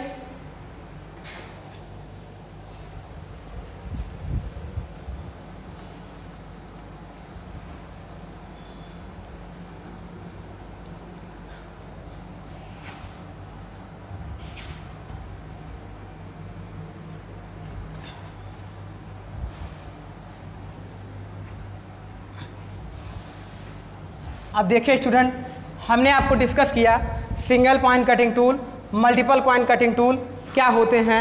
अब हम लोग उसी के आगे चलेंगे। जैसा हम लोगों ने टॉपिक स्टार्ट किया है, कौन सा? मेटल कटिंग प्रोसेस तो अब इस मेटल कटिंग प्रोसेस में हम लोग सिंगल पॉइंट कटिंग टूल पढ़ लेंगे, फिर मल्टीपल पॉइंट कटिंग टूल पढ़ लेंगे।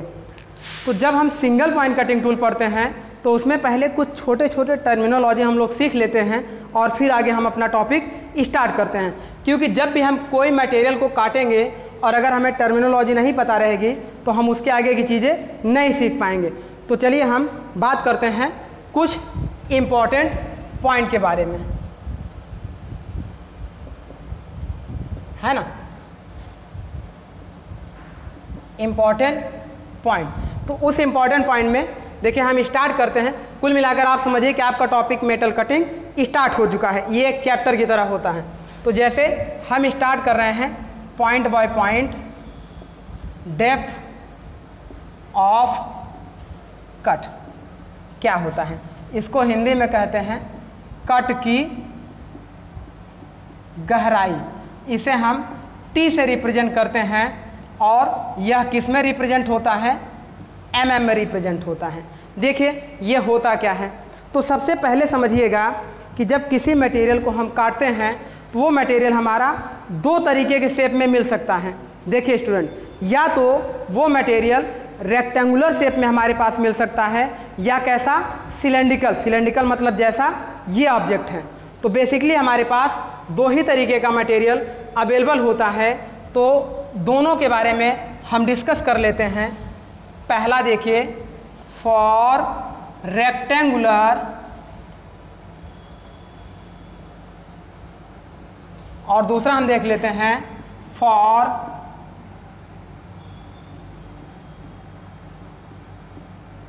सिलेंडिकल रेक्टेंगुलर का मतलब इस तरीके का वर्क पीस होगा और सिलेंडिकल का मतलब इस तरीके का वर्क पीस होगा। तो अब दोनों वर्क पीस में यदि हमें सपोज़ करिए, इसमें से इतना मटेरियल को काट के रिमूव करना था, ये हमारे लिए अनवांटेड मटेरियल हो जाएगा। देखिए, जिस मटेरियल को हम काट कर बाहर निकाल देते हैं, यही मटेरियल हमारा क्या होता है? अनवांटेड होता है अवांछनीय पदार्थ होता है। और सपोज़ करिए, इसमें से यदि हमें इतने मटेरियल को काट के रिमूव करना था तो इस तरीके से देखिए, दो ऑब्जेक्ट हमारे पास मिले, एक रेक्टेंगुलर और एक सिलेंडिकल अब दोनों में जब हम कोई टूल को लगाते हैं, देखिए सपोज़ करिए इसको काटना हो तो यहाँ पर हम एक टूल को लगाएँगे। और टूल हम कैसा लगाएँगे? सपोज़ करिए कि इस तरीके से एक टूल लगाएँगे, या इसको हम दूसरी तरफ़ दिखा देते हैं, ऐसा टूल लगाएँगे। देखिए ऐसा टूल हम लगाएँगे। तो अब आपने देखा, जब ये टूल लगेगा तो इस टूल की कुछ विर्थ भी होगी। इस टूल की कुछ विर्थ भी होगी। अब ये टूल कुछ गहराई में जाएगा और कुछ विर्थ को लेकर आगे काटता हुआ चला जाएगा। आगे काटता हुआ चला जाएगा। इसका एक डायग्राम देखिए। कटने के बाद ये कैसा दिखता है, उस तरीके का आप देख लीजिए। थ्री डायग्राम देखें हमारे पास वर्कपीस ऐसा था। वर्कपीस रेक्टेंगुलर ये पूरा ऐसा था, लेकिन कटने के बाद ये ऐसा हो गया, इतने थिकनेस का हो गया। अगर हमें इतने थिकनेस की रिक्वायरमेंट थी तो हमें इतनी थिकनेस को काट कर अलग करना था। तो अब इसका मतलब एक टूल हमारे पास ऐसा यहाँ पर ये लगा हुआ था और अगर पहली बार, यानी कि टूल यहाँ से चला और यहाँ तक कट किया और पहली बार में ही इतनी गहराई मतलब टूल की कटिंग एज सिंगल पास में यहाँ से लेकर यहाँ तक जाने में जितना डेप्थ ऑफ़ कट लेकर आगे बढ़ेगा, उसी को हम डेप्थ ऑफ़ कट या कट की गहराई कहते हैं। मतलब ये टूल हमारा, जैसे देखिए, इतना एम mm एक पास में काटेगा तो ये हमारी डेप्थ ऑफ़ कट कहलाएगी। चलिए, ये तो था हमारा रेक्टेंगुलर बॉडी के लिए। जैसे यहाँ पे डायग्राम में देखिए, ये टूल हमारा इतनी गहराई में, यहाँ से देखिएगा, इतनी गहराई में नीचे आया और एक काटता हुआ आगे बढ़ रहा है। तो टूल की कटिंग है जितना परपेंडिकुलर डेप्थ लेगी, वही हमारा डेप्थ ऑफ़ कट कहलाएगा किसके लिए? रेक्टेंगुलर बॉडी के लिए। सर्कुलर बॉडी में देखिए, जैसे सिलेंड्रिकल पार्ट था तो जब इसको हमें काटना होगा तो कटने के पहले और कटने के बाद देखिए डायग्राम कैसा बनेगा। इसमें दो तरीके से हम मटेरियल को काटते हैं। पहला तो इस तरीके का हमारा कट जाएगा। ये सिंपल सा टर्निंग ऑपरेशन होता है। इसमें यह टूल हमारा कैसा लगेगा? इस तरीके से टूल लगेगा। दूसरे डायग्राम में देखिए, इस तरीके से वर्क पीस होगा और ऐसी भी टर्निंग हम करते हैं, जिसे हम टेपर टर्निंग के नाम से जानते हैं। और इसमें इस तरीके से ये टूल हमारा लग जाएगा। ये टूल हो गया और ये टूल हो गया। अब ये वर्कपीस इसमें रोटेट करेगा और ये भी वर्कपीस रोटेट करेगा। और ये टूल देखिए टूल की कटिंग एज इतना परपेंडिकुलर हमारी इम्पिन करेगी। ये सपोज़ करिए टी एम एम इम्पिन करके और आगे बढ़ रही है। और जब ये वर्कपीस रोटेट करेगा तो जितना कट इस तरफ़ आएगा, उतना ही कट इस तरफ़ भी आएगा। तो इसका मतलब आप ये मत कह दीजिएगा कि सर, ये भी टी है और ये भी टी है। अगर ये एक एम mm है और ये एक एम mm है तो डेप्थ ऑफ़ कट दो एम mm हो जाएगी। नहीं डेप्थ ऑफ़ कट एक एम mm ही रहेगी। वो इतना कटने की वजह से जब ये वर्कपीस रोटेट हो रहा था तो ये वन एम mm और कट जा रहा था। तो आप ये टू एम mm का डेप्थ ऑफ़ कट नहीं लेंगे। तो सिलेंड्रिकल वर्कपीस में देखिए, ये डेप्थ ऑफ़ कट होती है। अब यहाँ पे देखिए इस डायग्राम में देखिए, जब ये टर्निंग ऑपरेशन हो रहा था तो वर्कपीस इस तरीके का बनता जा रहा था। तो इसमें आप ये मत कहिएगा कि ये डेप्थ ऑफ़ कट होगी। डेप्थ ऑफ़ कट का मतलब ये जो परपेंडिकुलर जितनी डेप्थ टूल हमारा जाएगा, आप देखिए, ध्यान से देखिएगा, इसको हम डेप्थ ऑफ़ कट कहते हैं। ये टेपर या इंक्लाइन में है इसकी कटिंग एज लेकिन इसकी डेप्थ ऑफ़ कट हमारी ये हो जाएगी।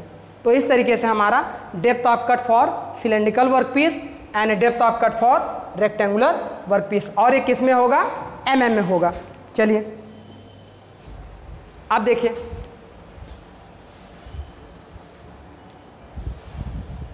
नेक्स्ट पॉइंट डिस्कस करते हैं फ़ीड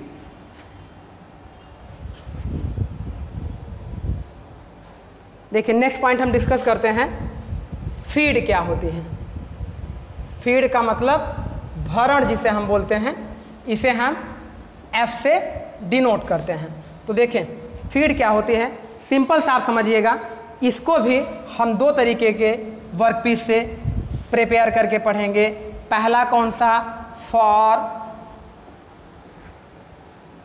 रेक्टेंगुलर वर्कपीस और दूसरा हम फॉर सिलेंड्रिकल वर्कपीस तो समझिएगा फ़ीड का मतलब क्या होता है?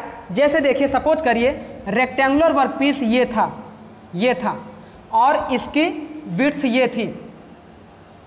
अगर इस पर एक टूल हमारा लगे, ऐसे ध्यान से देखिएगा, कोई टूल हमारा आए, और पहली बार में इतनी गहराई में, सपोज़ करिए टूल इतनी गहराई में और इतनी चौड़ाई में, देखिए, ध्यान से देखिएगा, पहले टूल आए, इतना मटेरियल को रिमूव कर दे।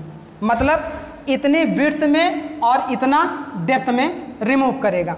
फिर क्या करेगा? टूल बैक जाएगा और फिर यहाँ पे टूल आएगा, इस पोजीशन पे और इतना मटेरियल को रिमूव करेगा। नेक्स्ट टूल बैक जाएगा और इस पोजीशन पे आएगा और इतना मटेरियल को रिमूव करेगा। यहाँ से लेकर यहाँ तक आएगा, फिर बैक जाएगा, फिर इस तरीके से। तो सिंगल पास में, ध्यान से देखिएगा सिंगल पास में मतलब टूल यहाँ से यहाँ तक जब जा रहा था तो वो सिंगल पास होता है। तो सिंगल पास में जितनी विर्थ को काटेगा रेक्टेंगुलर वर्कपीस के लिए टूल जितनी विर्थ को काटेगा, उसी को हम क्या कहते हैं?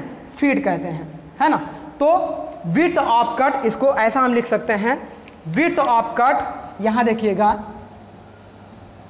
Width of cut in single pass is called feed is called feed और ये फ़ीड भी हमारी किसमें होगी? एम एम में होगी। एम एम में हम क्यों लेते हैं? वो भी देखिएगा।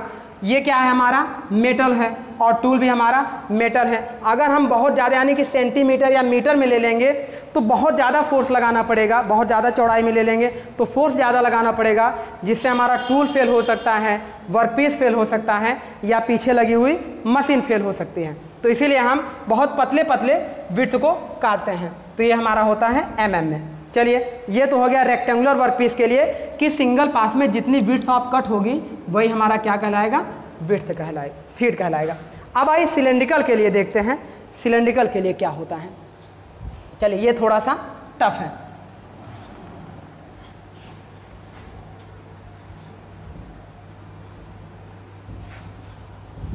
देखिए ऐसे सपोज़ करिए कि ये हमारा वर्क पीस था। यहाँ पे देखिए, ये वर्क पीस था और इस तरीके से ये कट होता हुआ आगे बढ़ रहा था।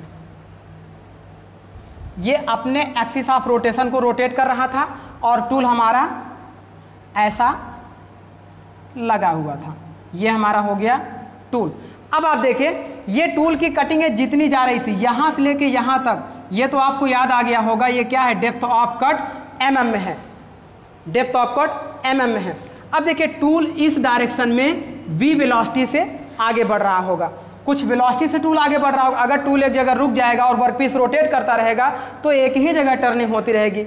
या तो हम टूल को आगे बढ़ाएँगे, या वर्कपीस को आगे बढ़ाएँगे। तो हम टर्निंग ऑपरेशन में वर्कपीस को एक जगह फिक्स कर लेते हैं।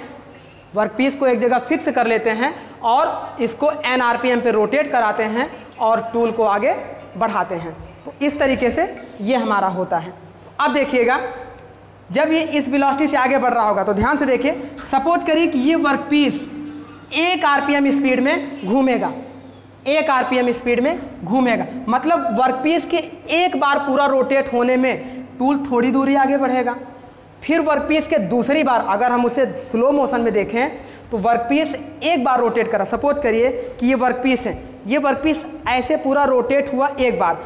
तो ये टूल थोड़ा सा आगे बढ़ेगा। फिर ये दूसरी बार रोटेट करेगा तो थोड़ा सा और आगे बढ़ेगा।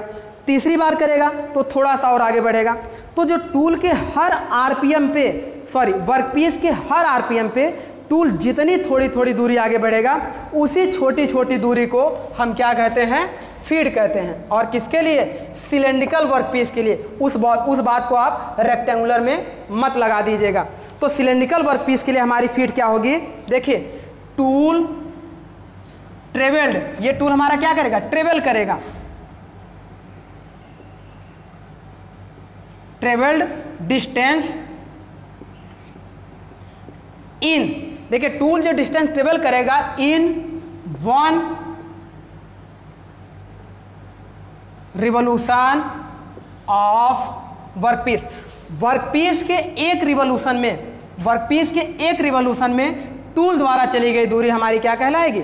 फ़ीड कहलाएगी। सपोज़ करिए एक रिवोल्यूशन में इतना दूरी आगे बढ़ेगा दूसरे रिवोल्यूशन में इतना दूरी आगे बढ़ेगा तीसरे में इतना दूरी।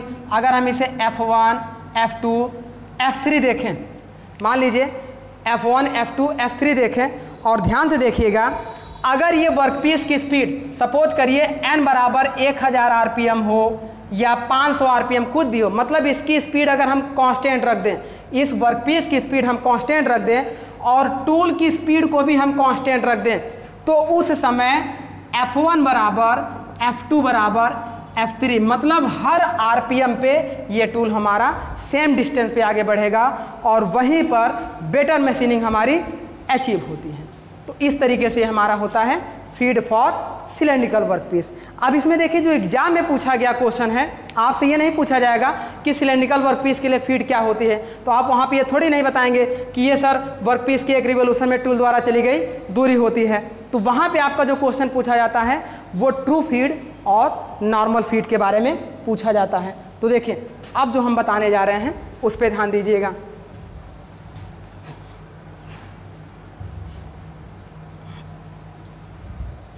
हम यहाँ पे लिख रहे हैं types of feed types of feed मतलब भरण के प्रकार. अब इसमें देखिएगा इसको बेसिकली और ये चीज़ ध्यान रखिएगा कि ये किसके लिए है? सिलेंड्रिकल के लिए है. ये रेक्टेंगुलर पर अप्लाई नहीं होगा. सिलेंड्रिकल के लिए एक हमारे पास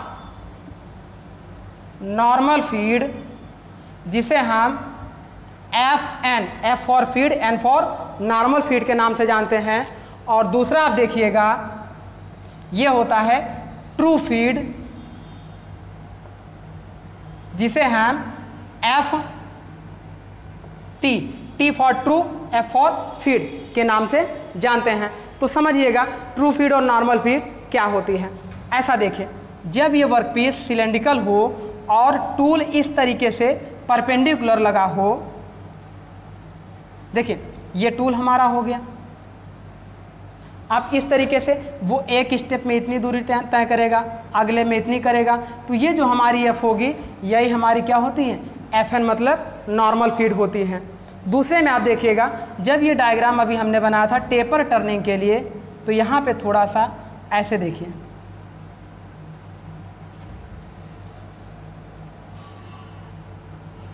देखिए अब ये टूल हमारा इस तरीके से लगा हुआ है।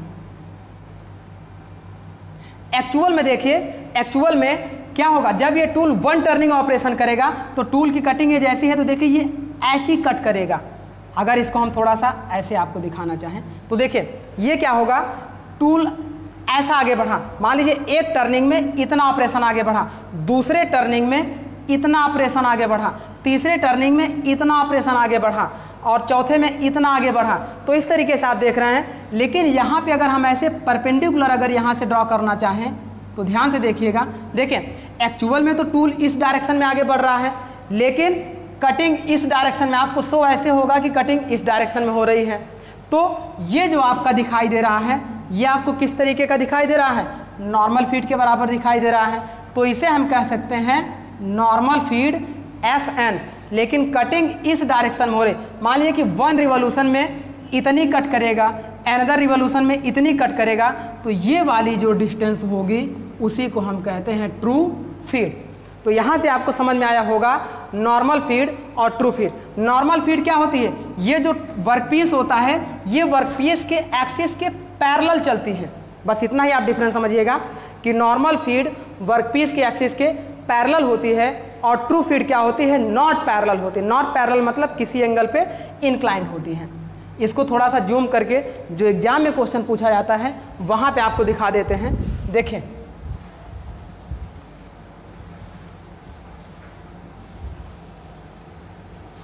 सपोज़ करिए सपोज़ करिए कि ये हमारा टूल हो गया।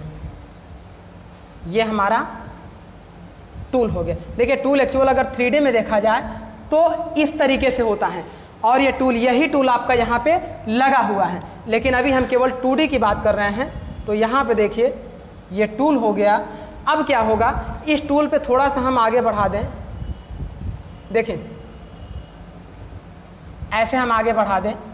आप देखिए, इस डायरेक्शन में जो जा रहा होगा, इस डायरेक्शन में मतलब क्या टूल एक्सिस के पैरेलल जो जा रहा होगा, यदि हम इसे टूल एक्सिस के पैरेलल वाले को क्या मान लें? एफ़ एन मान लें, यानी कि नॉर्मल फीट तो यही है। और यदि इस कटिंग एज पर टूल की कटिंग एज पर देखें ये हमारा यहाँ से आपको दिखाई दे रहा है, एक नॉर्मल इस कटिंग एज पर एक नॉर्मल आपको ऐसे दिखाई दे रहा है है ना? तो इस कटिंग एज पर एक इसके कॉर्नर से नॉर्मल हम ड्रा कर दें। नॉर्मल का मतलब ये 90 डिग्री होगा। तो ये जो वैल्यू हमारी आएगी, ये हमारी क्या होगी? एफ़ टी होगी। अब इसी को हम लोग देख लेते हैं कि ये एफ़ टी कितना होता है और वही एग्ज़ाम में आता है। देखिए, एक चीज़ ध्यान दीजिएगा। अगले लेक्चर में आपको बताएँगे, इस वाले एंगल को हम साई के नाम से जानते हैं। साई का मतलब होता है साइड कटिंग एज एंगल इसी का दूसरा नाम होता है मेजर कटिंग या इसी का दूसरा नाम होता है प्रिंसिपल, कटिंग, एज, एंगल। और इसकी वैल्यू 15 से 30 डिग्री 30 डिग्री 15 टू 30 डिग्री के बीच। मतलब ये टोटल वैल्यू 15 से 30 डिग्री के बीच में वेरी करती है।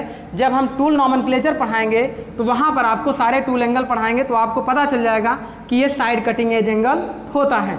चलिए अब इस पर आगे हम प्रूफ कर लेते हैं। देखिए, अगर ध्यान से देखिए, ये साई होगा तो ये 90 डिग्री है और ये 90 डिग्री है, ये साई है तो ये वाली वैल्यू हमारी कितनी हो जाएगी? 90 माइनस साई क्योंकि ट्राइंगल का टोटल वैल्यू कितना होता है? 180 डिग्री है ना? तो ये हमारा क्या हो जाएगा? इस तरीके से 90 माइनस साई हो जाएगा। अब अगर हम इस एंगल की बात करें, देखिए, इस एंगल की बात करें तो ये वाला एंगल हमारा कितना हो जाएगा? देखिए, यहाँ से लेके यहाँ तक आपको ये 90 डिग्री दिखाई दे रहा है। ये टोटल 90 डिग्री दिखाई दे रहा है और ये 90 माइनस साई है।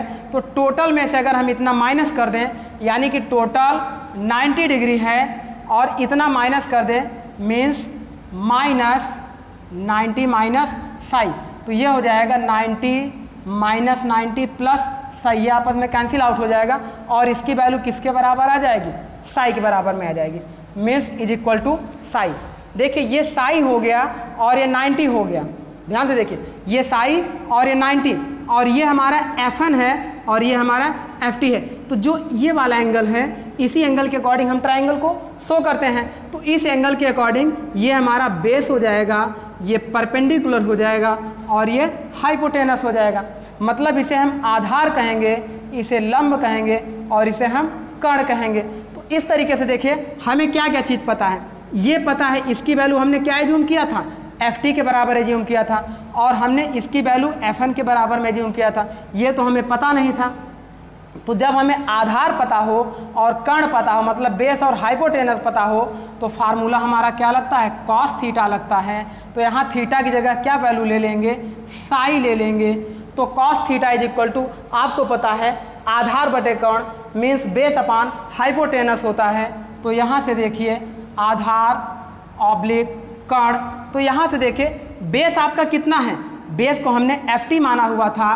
तो ये हो गया cos psi equal to F T upon ये हमने हाइपोटेनस कितना माना था? एफ़ एन माना था। तो यहाँ से अगर एफ़ टी की वैल्यू यानी कि एक्चुअल ट्रू फ़ीड की वैल्यू अगर हमें निकालनी हो तो इसका मल्टीप्लाइड यहाँ पे हो जाएगा एफ़ एन कॉस साई ये आपके लिए वेरी वेरी इंपॉर्टेंट फार्मूला होता है. वेरी वेरी इंपॉर्टेंट फार्मूला होता है. लगभग लगभग ऑब्जेक्टिव में पूछ लिया जाता है. या तो नॉर्मल फ़ीड की वैल्यू दी रहती है और ट्रू फ़ीड निकालने के लिए पूछ लिया जाता है. या चार ऑब्जेक्टिव बना देगा, जिसमें तीन अलग डिफरेंस फार्मूले होंगे और एक ये भी फार्मूला रहेगा F T is equal to F N cos psi तो इस तरीके से ये हमारी नॉर्मल फ़ीड डिफाइन होती है. तो यहाँ से हमने डिफाइन किया टाइप्स ऑफ़ फीट के बारे में। तो आई होप आपको अच्छी तरीके से फीट के बारे में क्लियर हुआ होगा। इसको भी स्क्रीन शॉट ले लीजिए, फिर हम आगे बढ़ते हैं।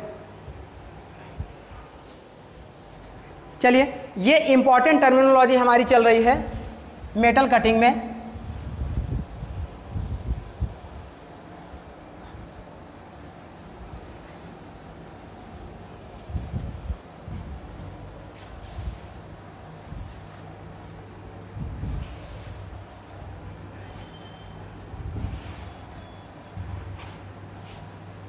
अब चलिए, अब थोड़ा सा हम लोग विर्थ कटिंग और चिप के बारे में देख लेते हैं। अभी हमारी टर्मिनोलॉजी ही चल रही है। तो जैसे देखिए, हम पहले कटिंग स्पीड पर थोड़ा सा डिस्कस कर देते हैं। हमारा अभी चला डेप्थ ऑफ़ कट फिर हमारा चला फ़ीड फिर हमारा कटिंग स्पीड देखिए कटिंग स्पीड का मतलब क्या होता है? ये भी हमारा दो वर्क पीस के लिए होगा। पहला रेक्टेंगल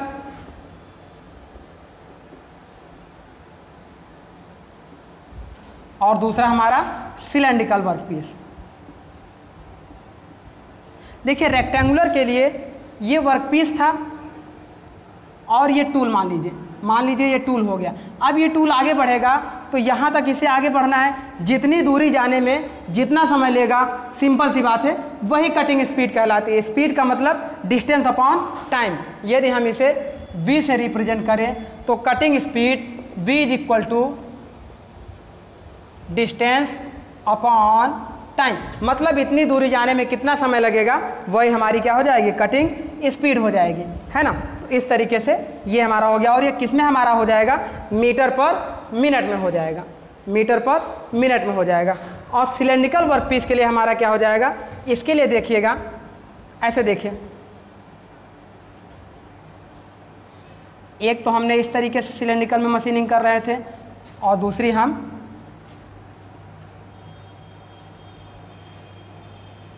इस तरीके से मशीनिंग कर रहे थे। दोनों में ये टूल हमारा लगा हुआ था।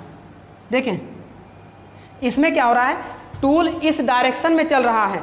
लेकिन आप देखिए, इसके पूरे पेरी फेरी को काटता हुआ आगे बढ़ा है। टूल भले ही आगे नहीं जा रहा है, लेकिन इसके घूमने की वजह से पूरी इसकी पेरी फेरी मतलब परिध भी कट रही है।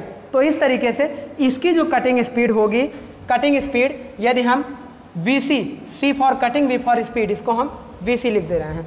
ना? तो V C is equal to देखिए पाई इसकी क्या होती है? इसकी पूरी परिधि हो गई। डी इसका क्या होता है? वर्क पीस का डायमीटर होता है। एन इसका क्या होता है? इस वर्क पीस की आरपीएम होती है। Upon one thousand pi D N upon one thousand ये होता है। इस तरीके से ये होता है। चाहे इसके लिए, चाहे इसके लिए। दोनों के लिए। इसमें भी ये परिध कटेगी और इसका डायमीटर डी होगा और इसमें भी परिध कटेगी, इसका डायमीटर डी होगा। इसको हम नोट कर दे रहे हैं यहाँ पे। देखिए where D is equal to यहाँ पे देखिए D is equal to dia of work piece dia of work piece and N is equal to RPM of work piece RPM of work piece और इसका देखिए यदि हम V C is equal to pi D N upon one thousand और unit हम किसमें ले लें? मीटर पर मिनट में ले लें। मीटर पर मिनट में ले लें। यदि हम इस मीटर को एम mm में कन्वर्ट कर दें और इस मिनट को सेकेंड में कन्वर्ट कर दें तो देखिए V C is equal to या C B is equal to ये पाई हो गया, ये डी हो गया एन हो गया। मीटर को एम mm में कन्वर्ट करेंगे तो 1000 से मल्टीप्लाइड करना हो जाएगा तो ये हो जाएगा एम एम अपॉन ये 1000 पहले से था इनटू देखिए ये मिनट था, इसको सेकेंड में कन्वर्ट करेंगे तो 60 से मल्टीप्लाइड करना होगा। तो ये 1000 से 1000 कैंसिल आउट हो जाएगा। देन जो cutting velocity V C is equal to आएगी पाई डी एन अपॉन, कितना हो जाएगा? 60 एम एम पर सेकेंड तो ये दोनों फार्मूले याद रखिएगा, हर जगह काम आता है कभी कभी एक ऑब्जेक्टिव न्यूमेरिकल में सीधे फार्मूले पे क्वेश्चन आ जाता है। या कभी कभी फार्मूला ही आ जाता है। तो pi D N upon sixty M M per second या pi D N upon one thousand किसमें मीटर पर मिनट। तो इस तरीके से ये हमारा है कटिंग स्पीड। अभी हमने सिंपल कटिंग स्पीड की बात की है। अभी इस पर चिप वेलोसिटी होगी, टूल वेलोसिटी होगी सीयर वेलोसिटी होगी, वो आगे की बात होगी, आगे हम डिस्क्राइब करेंगे कि टूल वेलोसिटी क्या होती है सीयर वेलोसिटी क्या होती है, चिप वेलोसिटी क्या होती है। इन तीनों में रिलेशन क्या होता है, जैसे वी एस वी सी और वी आर में रिलेशन क्या होता है? तो इस तरीके से ये होगा।